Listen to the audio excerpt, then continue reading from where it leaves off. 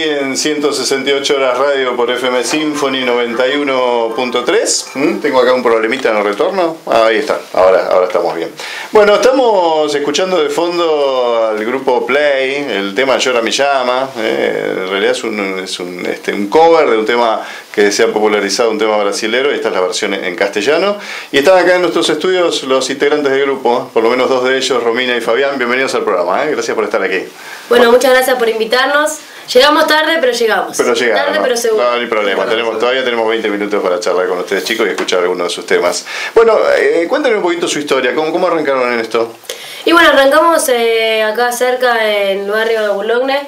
Este, era un grupo de, de barrio, empezamos haciendo temas obviamente de otros grupos y bueno, haciendo, haciendo, ensayando y haciendo temas, lo que a nosotros nos gustaba en realidad, hasta que se dio la oportunidad de, bueno, de grabar un disco. Ujú.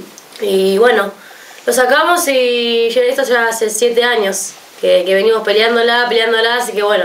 Pero por suerte, hace más o menos dos años, creo que, que, que, que, como nos decía, hablábamos recién de Uruguay y eso, justo Sí. o sea, del tema, Sí. eh, gustó mucho un tema en Uruguay que se llama Y tú con él, Claro. Que es el número 12. Ujú. Después lo vamos a escuchar, eh, Y bueno, y después de ahí, bueno, gustó Llora me llama. y Bueno, este, este tema que estamos escuchando ahora, que como bien decías vos, es un cover. Sí.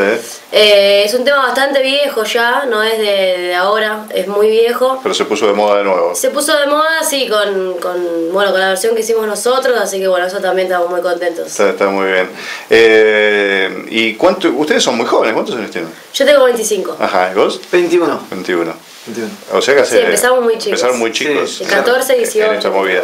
¿Y sienten ahora que están, a ver, por decirlo de alguna manera, jugando en primera en, en el ambiente, digamos, de, de- de lo que es la Eh, cumbia y todo esto? Sí, sí, se puede decir que sí. Igual siempre eh, tranquilos, siempre intentamos mantenernos, que es lo, lo más difícil en, en este ambiente, porque eh, es así, para ahí gusta un tema y trabajas un año y después desapareces. Claro. Nosotros, por suerte, pu- pudimos siempre mantenernos y bueno, ahora romperla con Llora me llama, que, que, que por suerte le gustó a todo el mundo, desde más, chi- desde más chico hasta más grande, así que nosotros felices. Está, está muy bien. El tema es ese, ¿no? Que no pegue tanto un tema que después se terminen Exactamente. olvidando los demás y queden pegados a ese tema de por vida, ¿no? Exactamente. Claro, claro. Ujú. y, y en tu caso, Fabián, contame un poquito tu historia también. Bueno, como decía Romina, bueno, arrancamos ya de... Yo cuando arranqué en la banda tenía 14 años, así que era Muy chico. muy chico. Imagínate que eh, estaba estudiando y estaba con esto de la música y se me complicaba un poco, pero bueno. eh, ahora ya le dimos bueno, lo que es la música, bueno, lo que nos encanta con Romina, bueno, vivir de la música y bueno, y hacer de, vivir de- también de lo que hacemos, ¿no? De lo que es estar en el escenario, de que la gente o sea, tenga la aceptación y, y te brinde el, el cariño, la euforia y todas esas cosas que la verdad que es inexplicable. Sí, veía en la página de ustedes del Facebook el cariño que le tiene la gente, la adoración, ¿no? Es, es muy fuerte eso, ¿no? Me imagino, cuando están en un escenario. Sí, demasiado. Creo que, que, que bueno, que el cariño de la gente y todo lo que estamos viviendo y lo que vivimos estos siete años, la verdad que no, no se puede explicar con palabras. Creo que el agradecimiento es, eh, es infinito hacia ellos porque son los que nos eligen, los que nos escuchan. Este, pero bueno, la verdad que, que súper agradecido con la gente por, por todo el cariño y por todo lo que nos dan, ¿no? Que no es poco. ¿Y cómo se maneja el tema de la fama y todo esto? No sé si fama.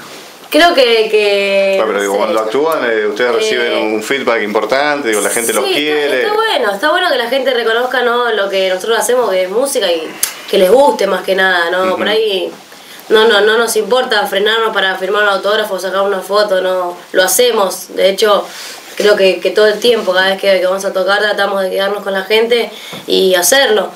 Pero es lo, que, lo, es lo mínimo que podemos hacer. Nosotros trabajamos esto y es lo mínimo que, que podemos hacer para devolverles un poquito de todo lo que hacen por nosotros. Claro, seguro. Es, es parte del trabajo y aparte, Sí, digo, gracias a los fans ustedes viven de esto, que no es poca Sí, cosa, ¿no? Siempre le preguntamos esto a, a los que están en, en temas artísticos, ¿no? Porque es importante que uno viva de lo que le gusta hacer, ¿no? Exactamente, sí, igual no todos piensan así, ojo.